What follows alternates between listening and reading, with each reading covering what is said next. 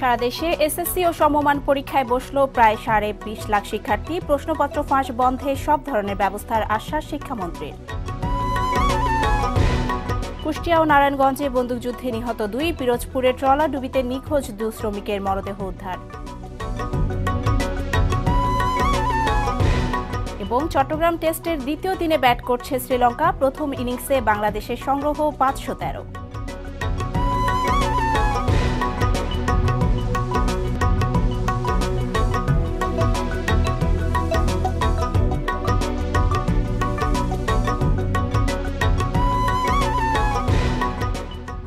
আসসালামু আলাইকুম, স্বাগত জানাচ্ছি আর টিভি জেলা সংবাদে। শুনছিলেন শিরোনাম।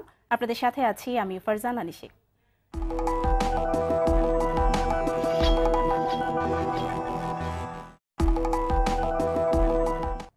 দর্শক, বাংলা একাডেমিতে বইমেলার উদ্বোধনী বক্তৃতা করছেন প্রধানমন্ত্রী শেখ হাসিনা। বিটিভির সৌজন্যে তার কিছু অংশ সরাসরি সম্প্রচার করা হচ্ছে।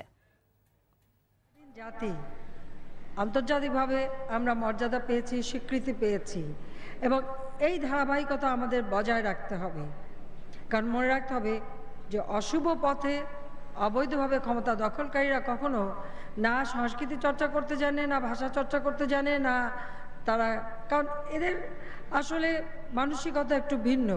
আমরা স্বাধীন জাতি স্বাধীন জাতি হিসেবে স্বাধীনতার চেতনা নিয়ে আমরা বাংলাদেশকে গড়তে চাই।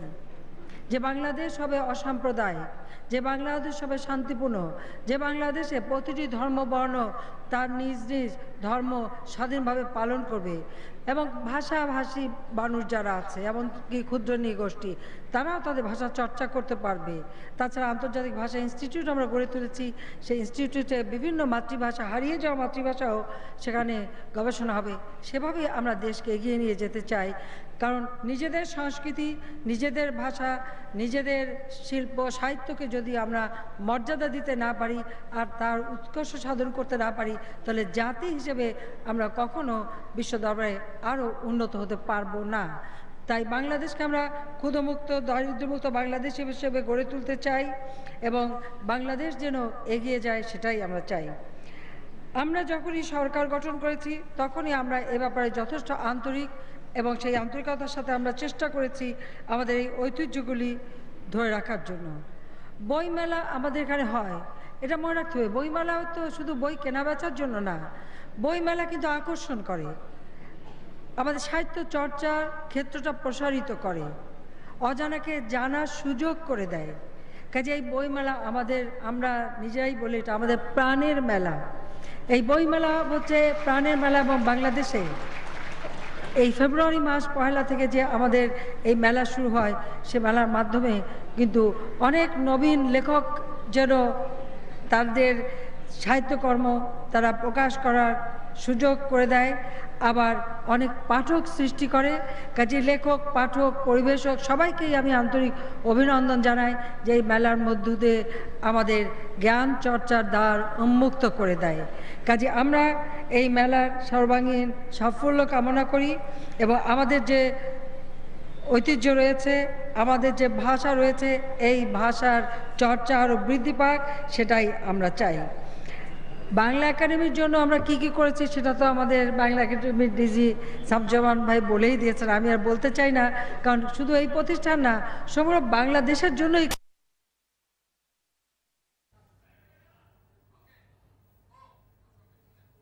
দর্শক, দেখছিলেন বাংলা একাডেমি প্রাঙ্গণ থেকে মাননীয় প্রধানমন্ত্রীর বক্তব্যের কিছু অংশ। চলে যাচ্ছি অন্য প্রসঙ্গে। সারা দেশে একযোগে শুরু হলো এসএসসি ও সমমান পরীক্ষা। এবার সাড়ে তিন হাজার কেন্দ্রে পরীক্ষায় অংশ নিচ্ছে বিশ লাখ একত্রিশ হাজার আটশো উনানব্বই জন শিক্ষার্থী। সকালে ধানমন্ডি ল্যাবরেটরি মাধ্যমিক বিদ্যালয় কেন্দ্র ঘুরে দেখেন শিক্ষামন্ত্রী নুরুল ইসলাম নাহিদ। তিনি জানান, পরীক্ষার প্রশ্নপত্র ফাঁস বন্ধে সব ধরনের ব্যবস্থা নেওয়া হয়েছে। নাজিফ ফরাইজের রিপোর্ট জানাচ্ছেন মুক্তা মাহমুদ। আট সাধারণ বোর্ড এবং মাদ্রাসা ও কারিগরি শিক্ষা বোর্ডের অধীনে দশ লাখ তেইশ হাজার দুইশো বারো জন ছাত্র এবং দশ লাখ আট হাজার ছয়শো সাতাশি জন ছাত্রী এবারের পরীক্ষায় অংশ নিচ্ছেন। পরীক্ষার তিরিশ মিনিট আগে উপস্থিতি বাধ্যতামূলক করায় যে যেভাবে পেরেছেন নির্ধারিত সময়ের আগেই কেন্দ্রে হাজির হন। তবে শিক্ষা মন্ত্রণালয়ের এমন সিদ্ধান্তে ক্ষোভ জানান অনেক অভিভাবক। তাড়াতাড়ি আসার ব্যাপারটা, এটা প্রেশার দিতে পারে, কিন্তু এটাকে তো হাইলাইট করার কোনো প্রয়োজন ছিল না। উনি যা জ্যাম ঠিক করুক, সকালবেলা যেন পরীক্ষা দিতে আসতে পারে, রাস্তার জ্যামগুলো নিশ্চিত করুক, ওই মুহূর্তে যেগুলো না হলেও চলবে, যে গাড়িগুলো রাস্তায় না গেলেও চলবে, সেটা গাড়িগুলো বন্ধ করুক তাইলে তো বাচ্চারা আসতে পারতেছে ইজিলি এদিকে শিক্ষামন্ত্রীর আশ্বাসের পরও প্রশ্ন ফাঁসের দুশ্চিন্তাও যেন অভিভাবকদের পিছু ছাড়ছে না। প্রশ্নপত্র ফাঁস হয়ে যে ধরা পড়ে। কিন্তু এ পর্যন্ত আমি কারও দেখলাম না চাকরি গেল বা কঠিন শাস্তি হলো। কষ্ট করে আধা ঘণ্টা আগেই আসব। তারপরেও যদি আমাদের প্রশ্নপত্র ফাঁস হওয়া থেকে বন্ধ থাকে বা বাচ্চারা ভালোভাবে পরীক্ষা দিতে পারে। কেন্দ্র পরিদর্শনে গিয়ে শিক্ষামন্ত্রী জানান প্রশ্ন ফাঁসের প্রমাণ মিললে বাতিল হবে পরীক্ষা। প্রশ্ন ফাঁস যাতে না হয় তার জন্য আমি আবারও বলছি যে যাতে না হয় তার জন্য যা যা ব্যবস্থা একজন মানে একটা প্রতিষ্ঠানের পক্ষে একটা মানুষের পক্ষে করা সম্ভব আমরা সেটা করেছি। আমরা বলেছি যে প্রশ্নের যে খামটা সেটা তিরিশ মিনিট আগে খোলা হবে, তার আগে খোলা যাবে না। সেটা এখানে দেখেছেন, আপনাদের সামনেই করা হয়েছে, সেইটা অক্ষত আছে কিনা সেটা দেখার জন্য আমরা দুজন আসছি এক্সট্রা কিন্তু এখানকার নিয়মিত ভিজিলেন্স টিমও এখানে ছিল। বৃহস্পতিবার থেকে শুরু হওয়া এসএসসি পরীক্ষা চলবে চব্বিশ ফেব্রুয়ারি পর্যন্ত, আর ব্যবহারিক পরীক্ষা ২৬ ফেব্রুয়ারি থেকে চার মার্চ পর্যন্ত। Mukta Mahmud R TV Dhaka. বরগুনার পাথরঘাটায় এসএসসিতে অংশ নেওয়ার সুযোগ করে দেওয়ার কথা বলে পাঁচ লাখেরও বেশি টাকা হাতিয়ে নিয়েছেন দুই শিক্ষক। এমন অভিযোগ ভুক্তভোগী শিক্ষার্থীদের। কয়েকটি স্কুলের টেস্ট পরীক্ষায় অকৃতকার্য শিক্ষার্থীদের কাছ থেকে এ টাকা নেওয়া হয়। টাকা দিয়েও পরীক্ষায় অংশ নিতে না পারায় হতাশ ও ক্ষুব্ধ শিক্ষার্থীরা। বরগুনা উত্তর প্রতিনিধি ফেরদৌস খান ইমনের রিপোর্ট জানাচ্ছেন রকিব মানিক। পাথরঘাটার কয়েকটি স্কুলের টেস্ট পরীক্ষায় অকৃতকার্য হয়েছে এমন অর্ধশতাধিক শিক্ষার্থীকে কাঁকছিড়া ইউনিয়নের জালিয়াঘাটা এইচএসডিপি মডেল উচ্চ বিদ্যালয় থেকে এসএসসি পরীক্ষার সুযোগ করে দেওয়ার কথা বলেন ওই স্কুলের প্রধান শিক্ষক ফেরদুস খান ও সহকারী শিক্ষিকা দুলিয়া বেগম। বিনিময়ে এক একজন শিক্ষার্থীর কাছ থেকে দশ থেকে বিশ হাজার টাকা নেন তারা কিন্তু শেষ পর্যন্ত তাদের পরীক্ষায় ব্যবস্থা করতে ব্যর্থ হন এই দুই শিক্ষক। আমাদের কাছ থেকে টাকা নিছে তারপর আমরা তো পরীক্ষা দিতে পারলাম না। কানের জিনিস থুইয়া কানে গো নেই খুললিয়া হেয়ে পারা সঞ্জয় বাবু দে টাহা নিয়ে হেয়ে পারা ফর্ম ফিল আপে টাহা দিছি। বিশ হাজার টাকা দেন আপনার ছেলে আমি পাশ করাই দেবো। অভিযোগের বিষয়ে স্কুলের প্রধান শিক্ষক এবং সহকারী শিক্ষিকা একে অপরের উপর দোষারোপ করছেন। এই অভিযোগটা আসলে সত্য না। পরবর্তী বছর পরীক্ষা দেওয়ার জন্য তারা রেজিস্ট্রেশন ট্রান্সফার করবে। এই জন্য বোর্ডের একটা রেজিস্ট্রেশন ট্রান্সফার ফর্মে আমার স্বাক্ষর নিয়েছে। দেখি সে টাকা অনেতে আছে। সর্বনিম্ন দেখি দশ এবং কারও কাছ থেকে পনেরো বা বিশ এরকম। এ বিষয়ে আইনানুক ব্যবস্থা নেওয়ার কথা জানালেন উপজেলা নির্বাহী কর্মকর্তা। যদি কেউ অভিযোগ করে সুনির্দিষ্ট অভিযোগ পাওয়া গেল এবং তথ্য প্রমাণের ভিত্তিতে আইনানুগ ব্যবস্থা নেওয়া হবে। প্রতারণার সঙ্গে জড়িত শিক্ষকদের শাস্তি দাবি করেছেন শিক্ষার্থী অভিভাবক ও এলাকাবাসী। রকিব মানিক আরটিভি পুলিশের সঙ্গে বন্দুকযুদ্ধ ও নৌ দুর্ঘটনায় বিভিন্ন স্থানে পাঁচজন নিহত হয়েছেন। এর মধ্যে কুষ্টিয়া ও নারায়ণগঞ্জে বন্দুকযুদ্ধে নিহত হয়েছেন দুজন। পুলিশের দাবি, ওই দুজন ডাকাত। পুলিশ জানায়, কুষ্টিয়ার মহিষাডাঙ্গায় ডাকাতির প্রস্তুতির খবরে অভিযান চালানো হয়। পরে বন্দুকযুদ্ধের ঘটনা ঘটে। এ সময় গুলিবিদ্ধ হয়ে এক ডাকাত মারা যায়। এ সময় দুই পুলিশ সদস্য আহত হন। এদিকে নারায়ণগঞ্জের সোনারগাঁওয়ে পুলিশের সঙ্গে বন্দুকযুদ্ধে একজন নিহত হয়েছেন। তার বিরুদ্ধে বিভিন্ন থানায় বিশটি মামলা রয়েছে বলে জানায় পুলিশ। অন্যদিকে ঝালকাঠের, কাঠালিয়ার বিষখালী নদীতে গেল মঙ্গলবার কার্গো ডুবির নিখোঁজ দুই শ্রমিকের মরদেহ উদ্ধার করা হয়েছে। পিরোজপুরের শান্ত নদীতে ট্রলাডুবিতে নিখোঁজ এক শ্রমিকেরও মরদেহ উদ্ধার করা হয়েছে।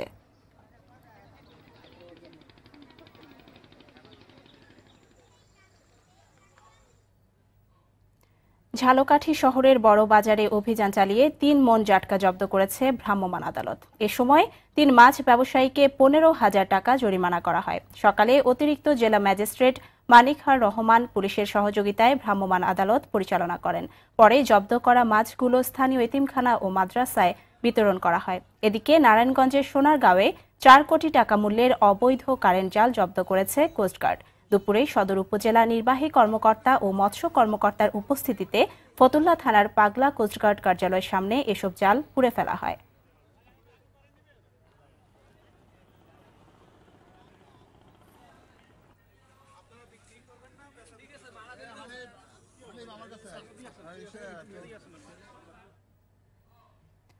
বান্দরবানের নাইক্ষুংছড়ি তুমরো সীমান্তে আশ্রয় নেয়া রোহিঙ্গাদের বাড়ি ঘর আবারও জ্বালিয়ে দিয়েছে মিয়ানমার সেনাবাহিনী। সীমান্তে জিরো লাইন বরাবর গত দুদিন ধরে থেমে থেমে ফাঁকা গুলি বর্ষণ করছে সেদেশের সেনাবাহিনী ও বিজেপি। এতে জিরো লাইনে বসবাসকারী ছয় হাজারেরও বেশি রোহিঙ্গা আতঙ্কের মধ্যে দিন কাটাচ্ছেন। এই ঘটনার পর বাংলাদেশ সীমান্তে বিজেপির পাহারা বাড়ানো হয়েছে। স্থানীয়রা জানান, গতকাল বিকেলে তুমরো সীমান্তে মিয়ানমারে ঢেকুপনিয়া এলাকায় নতুন করে রোহিঙ্গাদের বাড়িঘর জ্বালিয়ে দেওয়া হয়। রাতেও আগুন দেওয়া হয় ঘরবাড়িতে। সীমান্তের ওপার থেকে আতঙ্কে জিরো লাইনের রোহিঙ্গাদের আশ্রয় শিবিরে চলে এসেছে অনেক রোহিঙ্গা।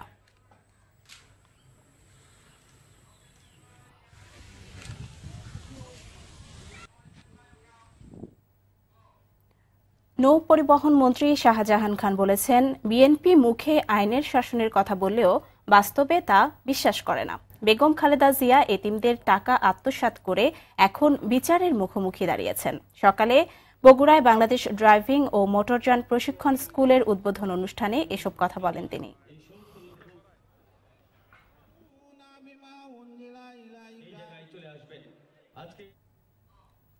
দেশের মানুষের যান, মাল ও নিরাপত্তার দায়িত্ব সঠিকভাবে পালন করা হবে বলে জানালেন নতুন পুলিশ প্রধান জাভেদ পাটোয়ারি। দুপুরে গোপালগঞ্জের টুঙ্গিপাড়ায় জাতির জনক বঙ্গবন্ধু শেখ মুজিবুর রহমানের সমাধিতে ফুল দিয়ে শ্রদ্ধা নিবেদন শেষে কথা জানান তিনি। প্রধানমন্ত্রীর বিশ্বাস ও আস্থার প্রতিদান দিতে পুলিশ বাহিনী সহ সবার সহযোগিতায় কাজ করার প্রত্যয় জানান তিনি।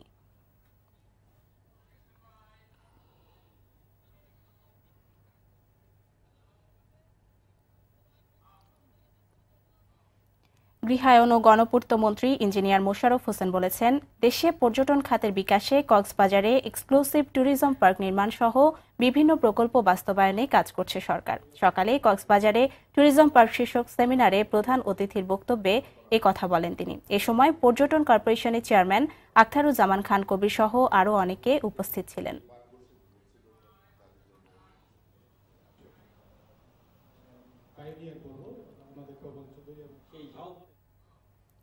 কুষ্টিয়া শুরু হলো তিন দিন ব্যাপী আঞ্চলিক ইস্তেমা বাদ ফজর, আম বয়ানের মধ্য দিয়ে কুমারখালী উপজেলার গড়াই নদীর তীরে এই ইস্তেমা শুরু হয়।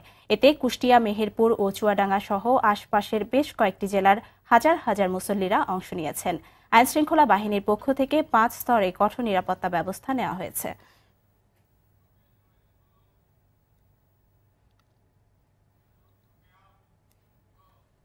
পাবনার ভাঙ্গুড়া স্টেশনে মালবাহী দুটি ট্রেনের মুখোমুখি সংঘর্ষ হয়েছে। এতে একটি বগি লাইনচ্যুত হওয়ায় ঢাকার সঙ্গে উত্তর ও দক্ষিণাঞ্চলের রেল যোগাযোগ প্রায় আড়াই ঘণ্টা বন্ধ থাকে। সকাল সাড়ে সাতটার দিকে এই দুর্ঘটনায় আহত হয়েছেন ট্রেনের এক চালক। ভাঙ্গুড়া স্টেশনের সহকারী স্টেশন মাস্টার আব্দুল মালিক জানান, রংপুর থেকে চট্টগ্রামগামী এমজিবিসি ব্লক নামের একটি মালবাহী ট্রেন ভাঙ্গুড়া স্টেশনে এক নম্বর লাইনে দাঁড় করানো হচ্ছিল। এ সময় সিরাজগঞ্জ থেকে ছেড়ে আসা দর্শনগামী এসবিআইডি দুই ডাউন নামের অপর একটি খালি মালবাহী ট্রেন সিগন্যাল অমান্য করে একই লাইনে প্রবেশ করলে দুই ট্রেনে সংঘর্ষ হয়।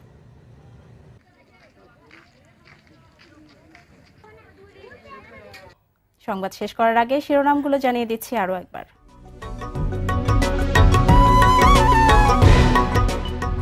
সারা দেশে এসএসসি ও সমমান পরীক্ষায় বসল প্রায় সাড়ে বিশ লাখ শিক্ষার্থী, প্রশ্নপত্র ফাঁস বন্ধে সব ধরনের ব্যবস্থার আশ্বাস শিক্ষামন্ত্রী কুষ্টিয়া ও নারায়ণগঞ্জে বন্দুকযুদ্ধে নিহত দুই, পিরোজপুরে ট্রলা ডুবিতে নিখোঁজ দুই শ্রমিকের মরদেহ উদ্ধার। এবং চট্টগ্রাম টেস্টের দ্বিতীয় দিন শেষে বাংলাদেশের চেয়ে তিনশো ছাব্বিশ রান পিছিয়ে শ্রীলঙ্কা, এখনও হাতে নয় উইকেট। জেলার সংবাদ এ পর্যন্তই। আর টিভির সবশেষ সংবাদ জানতে যে কোনো মোবাইল ফোন থেকে ফোর ওয়ান ফোর ওয়ান নম্বরে ডায়াল করুন। আর মোবাইল ফোনে সংবাদ দেখতে অ্যাপ স্টোর গুগল প্লে বা উইন্ডো স্টোর থেকে ডাউনলোড করুন আর টিভি অ্যাপস। আর তাৎক্ষণিক ও বিনোদন সংবাদ জানতে বিশ্বের যে কোনো প্রান্ত থেকে ভিজিট করুন W W W dot R TV online dot com এছাড়াও আর টিভির অনুষ্ঠান ও সংবাদ দেখতে পারেন ইউটিউবে। সাথে থাকার জন্য অসংখ্য ধন্যবাদ সবাইকে।